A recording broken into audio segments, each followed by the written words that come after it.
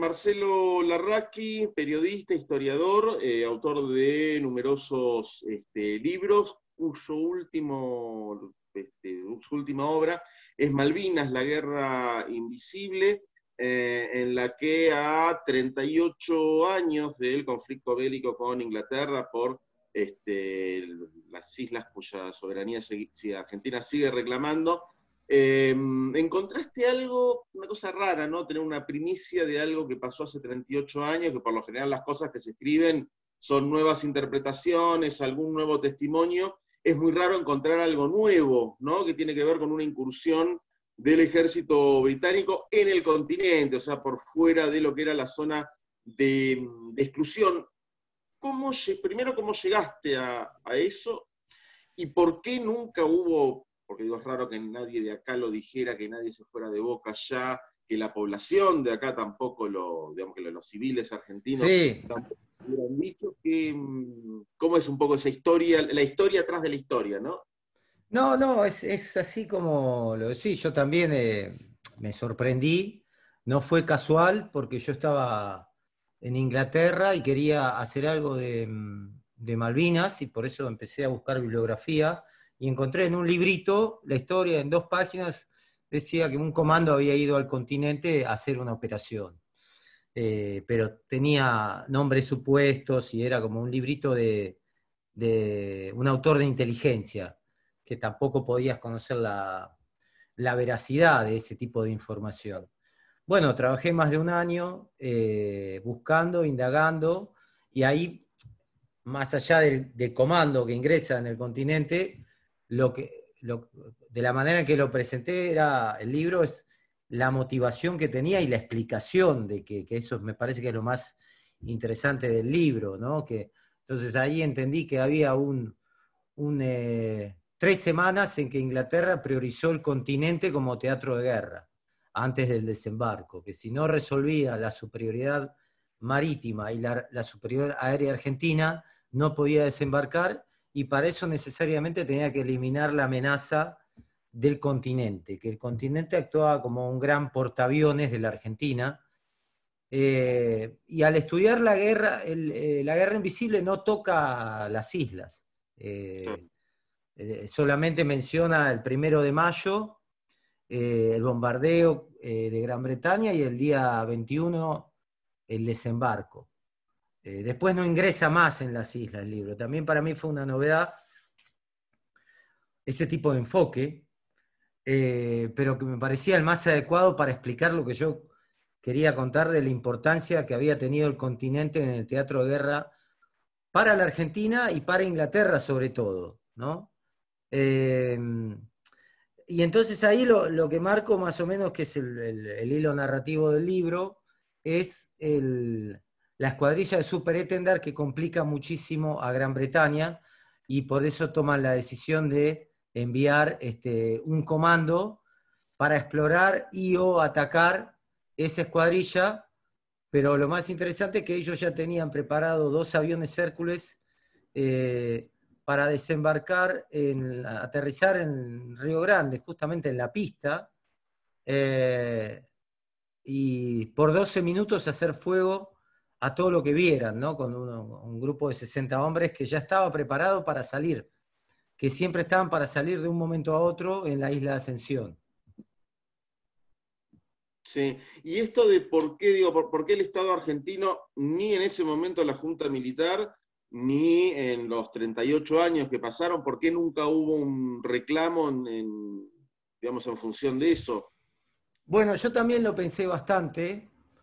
Eh, y a, mí, y todo esto está como en progress, digamos, eh, porque hay muchos documentos. Esta operación está clasificada para Gran Bretaña. Ellos tienen cuatro operaciones en el continente que mantienen clasificadas. Yo develo una. Hay otras tres que están en los archivos militares, pero está solamente el título. Esta también está, está mencionada, pero no está relatada. Las carpetas con todos los informes de esta operación están, em, retenidas por el Ministerio de Defensa. Em, yo tengo como la fortuna de encontrar un diario de guerra del capitán que conduce esta operación, que lo, es un diario de guerra que él tiene que escribir con otro nombre, eh, porque firman actas confidenciales de, no poder relatar las operaciones que hacen las fuerzas especiales. Y, y, él hace público de alguna manera su nombre hace 38 años cuando subasta la medalla y para ofrecerla dice de un capitán que condujo una operación en el continente. Y te digo, francamente, digo, yo ya tenía todo lo que él subastaba, no sé por qué se me dio en entrar en el sitio de internet de la subasta, a ver cómo había ido, cuánto se había vendido, cuánta gente, cómo había funcionado, y ahí leí todo la, la actuación, digamos, de esa subasta, y leí que en la última línea decía que el subastador también pone en subasta un libro de su autoría, a nombre de William Barnes, que relata este, una operación en el continente. Y, ese libro estaba en papel, pero también estaba electrónicamente a un dólar y medio. Eh, y bueno, obviamente lo leí y él contaba de una manera mucho más sensorial la historia eh, de cómo, decir, en, tercera persona, pero en primerísima persona, este, de cómo había sido esta operación. Ahora, la pregunta original, eh, ¿por qué Argentina y Gran Bretaña? Yo creo que Argentina y Gran Bretaña excluyen al continente como teatro de guerra. Eh, eh, Gran Bretaña la excluye porque vulnera la propia ley que impuso, que es la zona de exclusión, y estaba vedado su acción en el continente. Eh, por la propia ONU, digamos. La ONU le permitía responder a una agresión que estaba en las islas, no estaba en el continente. Pero la desesperación británica era tal que ahí no, no había ley ante la posibilidad de perder la guerra. Y Argentina, si bien en los diarios de la época eh, hay textos, por ejemplo en Clarín, o un texto de, no sé, Pérez Reverte, que era corresponsal de guerra, que refleja un parte eh, argentino que dice, eh, detuvieron a siete comandos del SAS eh, en las cercanías de Río Gallegos haciendo inteligencia, por ejemplo. Ahora, ese tipo de información que dio Argentina, que no es mi patrulla, es otra, está archivada, pudo haber sido una operación de, de acción psicológica o realmente fue así y está archivada, y eso todavía se mantiene archivado por el Ministerio de Defensa. Algunas pocas brigadas eh, abrieron sus archivos, las brigadas del ejército, si vos pedís el archivo, muchos eh, soldados están haciendo juicio y le están dando información a ellos como... Soldados que estaban, perdón, soldados que estaban en el continente. En el continente. Claro. Entonces, a nivel judicial, recién ahora se están abriendo este, archivos de guerra donde mencionan algún tipo de operaciones, como decir eh, que sale un grupo de infantería a buscar gomones a la altura de Caleta Olivia, eh, o aviones Pucará que van en busca de un eco de un de supuestamente un siquín eh, y lo venden en su eco, pero este, luego lo pierden dentro del continente. Eh, es decir, existen, es decir, por un lado Gran Bretaña reconoce cuatro, yo cuento una, eh, las otras tres no se sabe cuáles son, están clasificadas. Por el otro lado, Argentina, a nivel judicial, por pedidos judiciales, empieza a reconocer, en, pero en brigadas específicas, es decir, eh, yo ahora voy a intentar hacerlo, pero como yo no soy particular interesado, tengo que buscar la forma. Pero sí sé que me han enviado eh, soldados eh, de que me dicen, mira, a mí me respondieron esto. Eh, y están los partes de guerra. es esto que tengo acá. No sé si ah. se ve. ¿Ves? Esto, parte de Radio Escuchas, productor Flor, Puerto Argentino, Bahía Fox.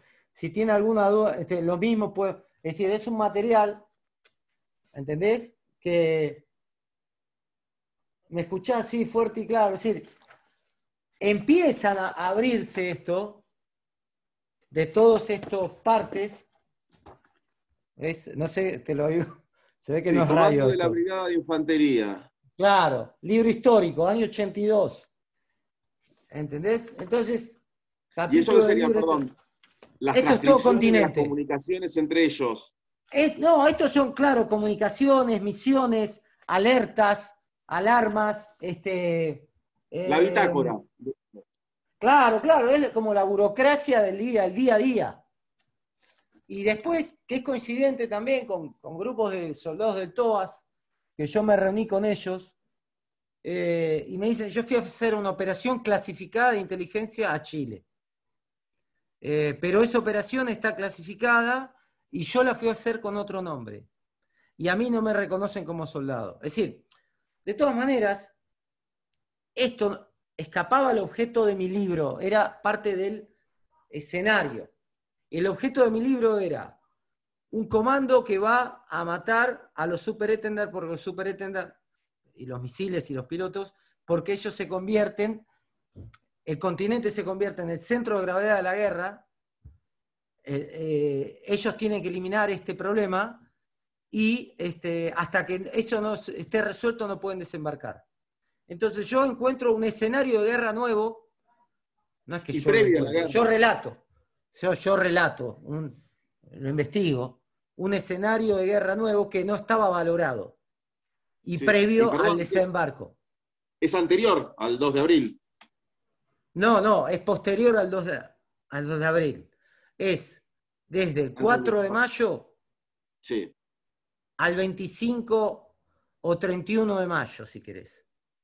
Es ese periodo que Gran Bretaña, aun cuando desembarque el 21, las tropas no se mueven porque no saben que, que ya tienen la tuvieron un bombardeo letal el 21, tuvieron otro el 23 y no se animan a mover las tropas porque no saben qué puede suceder si esas tropas que tienen que caminar 105 kilómetros pueden llegar a ser bombardeadas o no. ¿Y por qué tienen que caminar? Porque el 25 de mayo un superétendar, el capitán Kurolov, impacta sobre eh, el Atlantic Conveyor que tienen siete aviones, eh, perdón, helicópteros chinos de transporte de tropas y lo hunden se hunde ese, ese destructor, ese carguero que funcionaba como un portaaviones, y hunde Sea Harrier, hunde una pista de aterrizaje, mirá la importancia que tiene, que iban a armar en San Carlos para que estén ahí los Sea Harrier y no tengan que ir y volver desde el otro portaaviones del Hermes, que está a 80 millas.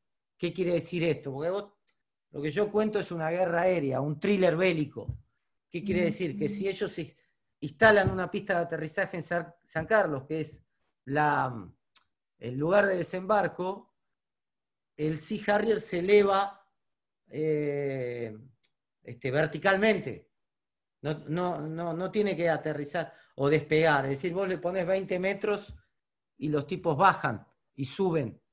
Eso gasta más combustible. Pero lo que te quiero decir con esto es que eso con el tipo, con los submarinos surcando en el continente, con la información del radar de Chile desde Punta Arenas, que estaba bajo control británico, y con los piquetes radar, con los aviones, eh, los, perdón, los, los buques que estaban en San Carlos o arriba de la isla Borbón, que ya detectaban la llegada de los aviones argentinos, estas patrullas de los Sea Harrier en, en, la, en San Carlos directamente esperaba que llegaran los aviones argentinos se ponían detrás y los impactaban.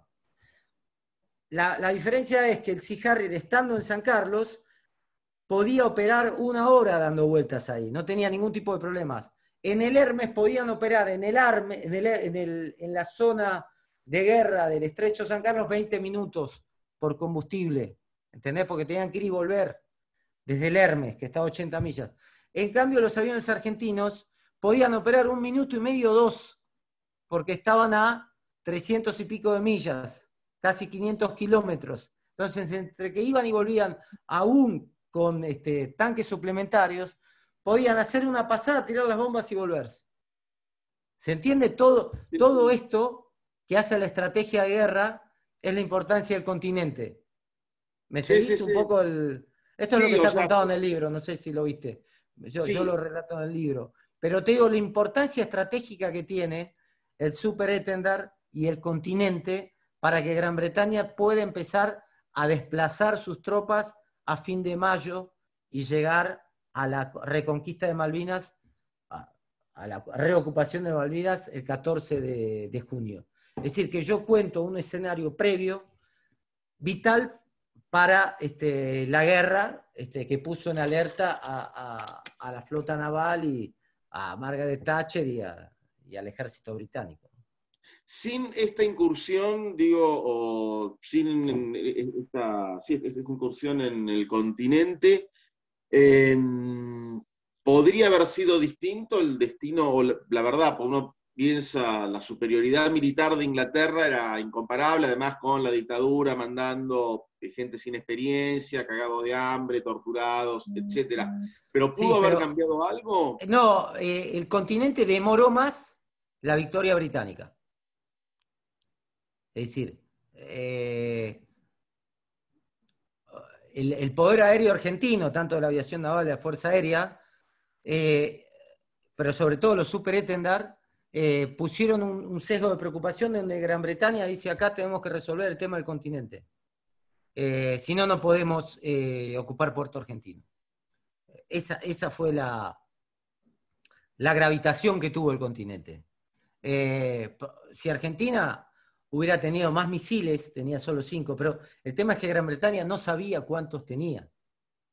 Este es el punto, no sabía qué había en el O sea, es como mirarle las cartas a alguien con quien jugás al póker. Sí, pero, pero no, las no, sabía qué tenía Argentina en el continente. Entonces dijeron, como no sabemos qué, tenga, qué, tienen, destruyámoslo. ¿Se entiende el tema? no, es que dice que... ¿Eh? Que no tengan nada. Claro, que no tengan nada, destruyamos su poder, si no, este, esto no lo podemos resolver. Y esto te muestra también que ellos, este, eh, se produce un, desequilibrio en la superioridad bélica que ellos tenían, como, como vos mencionabas y como que ellos conocían, eh, que dice, bueno, estemos atentos acá porque no, no sabemos qué tienen ellos y cómo pueden responder. Eh, y acá el problema no fue tanto eh, las tropas mal armadas, esto es otro, otro problema que vos mencionás, eh, que fue cómo estaban armadas las tropas en Puerto Argentino, que estuvieron 70 días en un pozo, estaqueados, que no les daban de comer, eso es otro problema. Eh, eso es como el final del problema. Para llegar a ese problema, Gran Bretaña tenía que reducir a cero el continente. Pero por eso ponen toda la logística de guerra ahí. Ponen los submarinos ahí, ponen el radar en Chile, este, ponen los barcos de, del lado de la, de la, costa, digamos, de la costa argentina. ¿no? Desembarcan incluso por la costa argentina, este, bueno, por el estrecho más cercano, ¿no? San Carlos es el estrecho que separa las dos islas pero el, problema de ellos era un impacto sobre el Invincible o el Hermes, que tenían toda la logística de guerra. Tenían los Hermes, los Iquín, los Chinox, tenían tropas, tenían todo. Un impacto ahí, y vos fijate la, operatividad que tenía el, Super Etendard, que solamente lo pueden parar poniéndoles barcos para que impacten sobre ellos. Si sacando el pecho, digamos. Sí, ¿Entiendes? No, podían parar el misil de otra manera que le pongan un barco adelante, eh, protegiéndolos, un barco a 30 kilómetros del Hermes. y otro a 50 y otro a 100. entonces vos cuando vas pilotando el Super te aparece en el eco, eh, en, en, la pantalla de radar, un barco que le tirás, porque vos ves una cosa ahí y no sabés qué es. Los pilotos no saben no es que en, la pantalla de radar te aparece Invincible, te aparece quizá el radar, que es el radar 965, que es el, el, el, ruido, el, explorer, el explorador, dice, che, radar 965 es el Sheffield, pero también puede ser de este y de, aquel. Entonces, los pilotos van con esa información y cuando lo ven en la pantalla de radar, disparan. Y no saben contra qué y tampoco saben si impactan. ¿Se entiende? Porque disparan de a 40 kilómetros. Claro, operación, bien, eh, objetivo alcanzado, no sé, operación, eh, misil lanzado.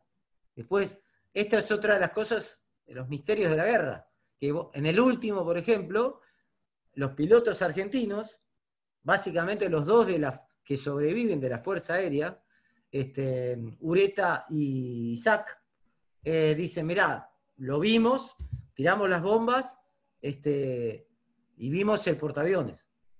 Y Gran Bretaña no lo reconoce. Pero a la vez le lanzan dos misiles Seawolf a dos pilotos argentinos y los matan. A4Q, dos aviones A4Q Skyhawk. Eh, porque esa misión es la única que es en conjunto Fuerza Aérea y Aviación Naval. ¿Qué pasa? Tira la aviación naval, el Super Etendard, el último misil aire-aire, eh, y cuatro aviones de la Fuerza Aérea siguen al misil. Y el misil va más rápido que ellos. Y cuando llegan al, blanco, al objetivo, que dicen, es el portaaviones, lo ven lleno de humo, pues ya el misil había llegado 40 segundos antes. Pero a la vez, esos cuatro aviones estaban a la vista del, del, sistema de defensa de ese buque, entonces le, lanzan misiles de, tiro bajo que son los Seawolf. Lo vienen traqueando hace quizá desde la milla 55, 10 o 15 minutos. Traqueando le vienen haciendo el seguimiento. Pero como dispara el, Super Etender en la milla 30, pongamos, no, no le disparan al, al, Super la disparan a los aviones que van llegando de la Fuerza Aérea. ¿no? Este, no, eran A4B, A4C. Eh, no eran los de la aviación naval, que es A4Q. Y dos, a dos los matan. Bueno, Inglaterra niega esta operación, quizá también por una estrategia de guerra, y ese informe sigue clasificado del Invincible. Solamente hay, información, dice, no, a ese no le pegaron. No te dicen a cuál, saben que le pegaron a algo, pero no queda. No, no, no, pero Gran Bretaña no dice a cuál le pegaron y desde qué barco impactaron a esos dos aviones argentinos que cayeron, que mataron a los pilotos. Dicen, al Invincible no le impactaron. ¿Se entiende? Porque sigue siendo información clasificada. Y tenemos un testimonio oral de los pilotos que dicen, nosotros vimos un este, barco de 200 metros que era el Invincible. Y le tiramos las bombas encima y ya tenía el humo. Después hay mil historias de que lo fueron a reparar, que Australia, que volvió seis meses después, que, se guardó, es decir, no, vio, no volvió con toda la flota ese, el Invincible. Bueno, son, son las historias de guerra. Eh, pero ¿qué pasaba? Ya habían, ya habían desembarcado y las tropas ya estaban caminando y, quizás ya no tenían este, todos esos, ya no, tenía tanto la gravitación que tuvo el Atlantic Conveyor y el Sheffield en ese momento de la guerra. Por eso yo estudié la guerra día a día, de alguna manera, guerra aérea día a día, con todos los informes de la aviación naval, con todos los libros oficiales de la aviación naval, este, de, la, de, la, Fuerza Aérea, con los testimonios de los pilotos y con la bibliografía británica, con una tesis doctoral del King College me fue muy importante, este, y, es una tesis del año pasado, em, de un, del Departamento de Guerra de Estudios Británicos del King College. Es decir, todo lo que trae el libro mío es como información nueva que está ahora apareciendo, este, pero básicamente es, la historia también, me ayuda mucho este diario de guerra de este capitán británico. Eso también, ¿no? Porque decíamos. Te mareé un poco, ¿no? Te mareé un poco, con, te mareé un poco con todo el escenario. no, eh, esto de que decíamos antes, bueno, es la primera vez que se cuenta. En realidad se había contado en el libro de este capitán y también pasó desapercibido, ¿no? Sí, bueno, porque ese, ese libro está bajo otro nombre eh, tenés que, tenías que haberte metido en, la, en el sitio de internet de esta subasta, este, como que estaba en el fondo de, en el fondo del pozo, eso. Además, él se fue muy mal del ejército, eh, con mucho rencor, porque lo enjuiciaron por esta, esta operación, yo lo cuento en el libro. Fue enjuiciado por el ejército británico por esta misión. Entonces, él durante 38 años no, no dijo nada. Sí. Em, una cosa me, que me causaba curiosidad cuando contabas vos, esto lo trabajaste básicamente en, en Inglaterra, estuviste un año laburando ahí. No, menos, tres, cuatro meses. Em, esto de, eh, bueno, y de esta subasta y esto, no, ¿cuál es el impacto de Malvinas en el pueblo inglés? Uno por ahí fue nuestra guerra en casi un siglo, ¿no? El único conflicto bélico internacional. Claro, ellos, para ellos es como un... Yo, por ejemplo, en el Museo de Londres, de la ciudad, te muestran todos los las batallas de ultramar y, no están ni las invasiones inglesas ni la toma de Malvinas.